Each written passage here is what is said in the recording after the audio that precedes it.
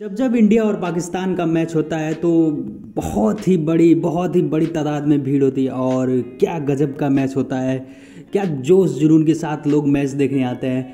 तो जैसा कि आपने देखा है कि वर्ल्ड कप में इतने सारे मैचेस हो रहे हैं, पर ये इंडिया और पाकिस्तान का मैच बहुत ही अहम हो जाता है।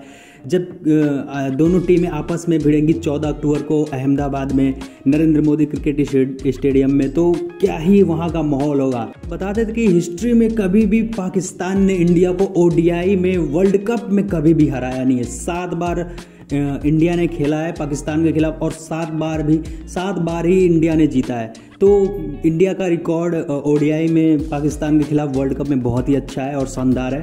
हालाँकि बीते कुछ सालों में हम ये देख सकते हैं कि हाँ पाकिस्तान की टीम टी ट्वेंटी में इंडिया से थोड़ा बेहतर करते हुए आई है क्योंकि टी ट्वेंटी में इंडिया को पाकिस्तान ने कई बार हराया भी है।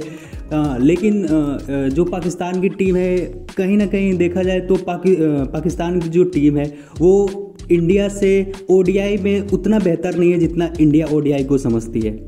बीते कुछ दिनों से आप देख ही सकते हैं कि एशिया कप से लेके अभी तक इंडिया की टॉप ऑर्डर और मिडिल ऑर्डर और लोअर ऑर्डर भी बहुत कुछ कर रही हैं। इंडिया के लिए रन्स भी दे रही है बॉलिंग भी बहुत विकेट भी बहुत चटका रहा है। तो बीते दिन में आप देख सकते हैं इंडिया ने अपने बैटिंग को और बॉलिंग को कितना इम्प्रूव किया है।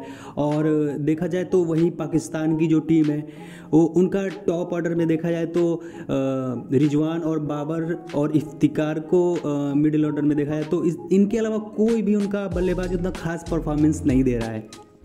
और पाकिस्तान का मानना है कि उनकी स्ट्रेंथ बॉलिंग है, पर बीते कुछ दिनों से आप देख सकते हैं कि नसीम शाह की इंजरी के बाद पाकिस्तान की टीम थोड़ा लड़खड़ा सी गई है। किसी का मतलब उतना बॉलिंग में रिदम रहा नहीं है, जैसे कि साइन शाह अफरीदी भी नई बॉल से कुछ कर नहीं पा रहे हैं। तो बीते कुछ दिनों से पाकिस्तान की बॉलिंग से लेकर बैटिंग तक सब स्ट्रगल कर रही है। एक खबर निकल के सामने आ रही है कि टीम इंडिया की जर्सी को लेके, कि टीम इंडिया की जो जर्सी है, भगवे कलर में खेला जाएगा, जो अहमदाबाद का क्रिकेट स्टेडियम है। 14 अक्टूबर को इंडिया वर्सेस पाकिस्तान के खिलाफ जो मैच होने वाला है, वहाँ पे टीम इंडिया भगवे कलर की जर्सी में उतर सकती है। तमाम सोशल मीडिया प्लेटफॉर्म पे ये न्यूज़ फैल रही है कि टीम इंडिया जो है भगवे कलर की जर्सी में खेलती हुई नज़र आएगी। तो बीसीसीआई ने अपना क्लियर कर दिया है कि नहीं भाई, नहीं, ऐसा नहीं होने वाला है, क्योंकि ये जो टीम इंडिया की भगवे कलर की जर्सी है, सिर्फ़ प्रैक्टिस मैच के दौरान खेला जा रहा है। तो ऐसा आपको मैच आगे भगवे कलर में टीम इंडिया खेलते हुए नज़र नहीं आएगी।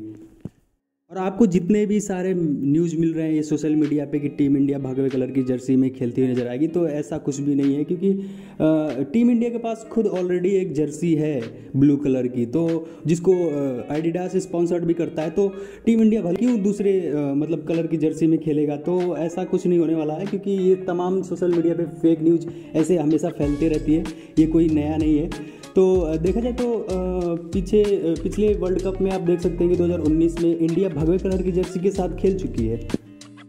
इस वर्ल्ड कप में हमें शायद ही ऐसा देखने को मिले। अभी के लिए वीडियो में सिर्फ़ इतना ही। मिलते हैं किसी और नेक्स्ट वीडियो के साथ। तब तक के लिए जय हिंद, गुड बाय।